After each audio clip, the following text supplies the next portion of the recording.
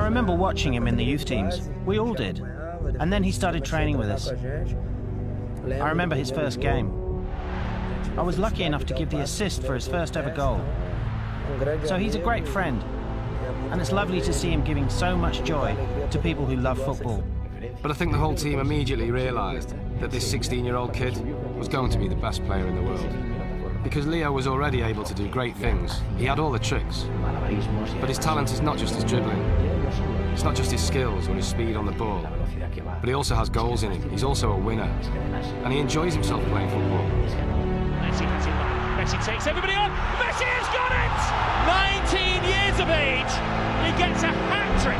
You can't write a script like this. Oh, brilliant skill from Lionel Messi. Brilliant from Messi. Oh, what a goal that is! Have you seen a better goal than that anywhere? I very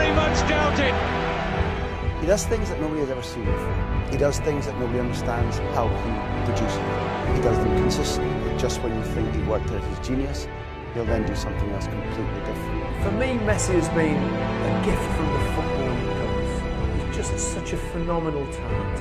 A player that not only beats people, mesmerises them, produces magical moments, scores a multitude of goals.